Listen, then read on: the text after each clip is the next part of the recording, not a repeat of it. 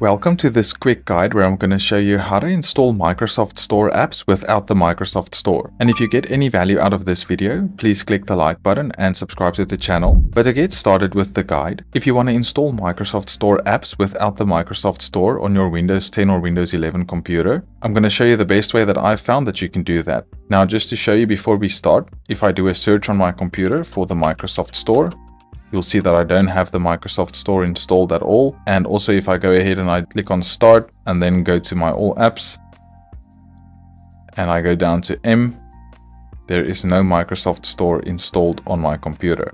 Now to install apps without the Microsoft Store, you can open up your browser of choice and then you can go to this web page, which is the Winget UI web page. Now I'll also have a written guide on the subject and I'll include this webpage in my written guide and you can just get that from the description of this video. But once you're on this webpage, you can download the Winget UI app, which is an app for your package managers, which provides a graphical user interface. So you can install apps without the Microsoft Store through various sources like Winget, Scoop, Chocolatey, and so on. So to get started with this, just scroll down and then click on Download Winget UI it's going to start the download for the Winget UI installer.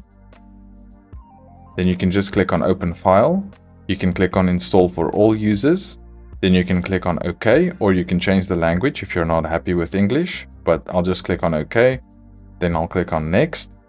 Click on next again. And then I'll just leave this on the defaults. But you can also perform a portable installation if you'd like. Then you can click on next. And then you can click on install.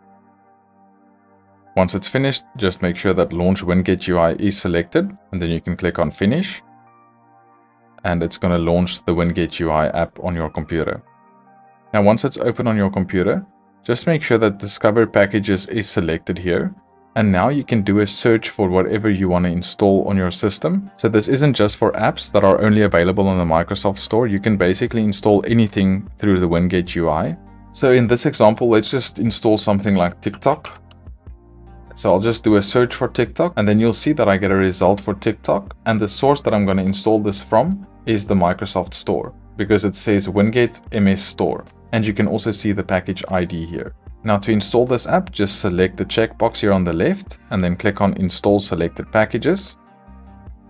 At the bottom here, you're going to see the status of the installation. And when it's finished, you'll see that TikTok was installed successfully. Now, if I go ahead and I do a search on my computer for TikTok, I now have the TikTok app installed on my system.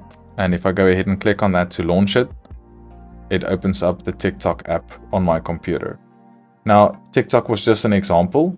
You can go ahead and you can do a search for whatever you want to install. If you want to install Minecraft, you can do a search for Minecraft, and then you'll find all of these results for Minecraft that you can install. If you want to install Roblox, can do a search for Roblox and then you can just find Roblox on this list of results, then select it and click on install selected packages. So this is a great way of installing Microsoft Store apps without the Microsoft Store and Winget UI does more than just that. If you go to the software updates tab up here, you can also check for updates for all of the software that you have installed on your system and you can just click on update selected packages and it's going to download and install all of the available updates for those apps on your system. But I hope this guide's been useful and if you got any value from it, please like the video and I'll talk to you guys soon.